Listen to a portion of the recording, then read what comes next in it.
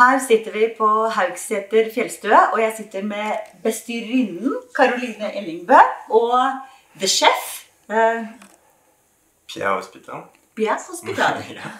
Caroline Ja. fra advokatkontor og Frogner og Oslo og via Hadeland, og nå er du her. Ja, Hva skjedde? ja, det kan man vel si er ganske tilfeldig at jeg havna her. Ja. Men eh, fjellet drar meg jo veldig. Og jeg fikk denne muligheten og hoppa i det. Koselig. Ja, veldig. Så jeg er veldig glad for avgjørelsen jeg Ja. gjorde. Og Pierre, you're here in the mountains preparing delicious food for the guests. I hope so. How did you end up here? Oh, a girl first, Yeah. and uh, then of course I decided to stay because it's so beautiful here. Yeah, it's uh, easy life in Valdres. So. And now you're here for the summer and Yeah, summer, and then I go back France in the winter. In the winter. Yes.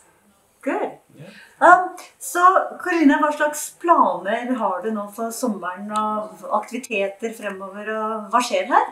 Ja, nå er jo planen vår å få mange folk hit og oppdage oss, selvfølgelig.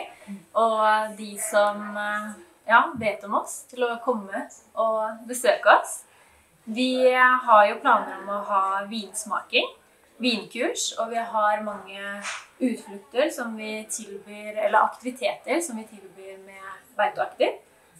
Og det er spennende aktiviteter som eh, fiskekurs og kombinert med fjellturer.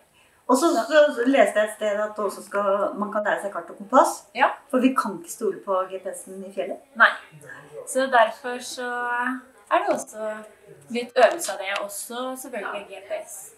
Ja, så da kan man være med beiteaktiv på å teste seg litt på kart og kompass. Og det tror jeg kommer til å være veldig attraktivt å gjøre. Men som Pierre her sa, så er det også god mat, og man kan komme hit og spise middag. Ja, Og man kan overnatte. ja det kan man. For her er det hvor mange rom? Vi har åtte rom her inne på fjellstua.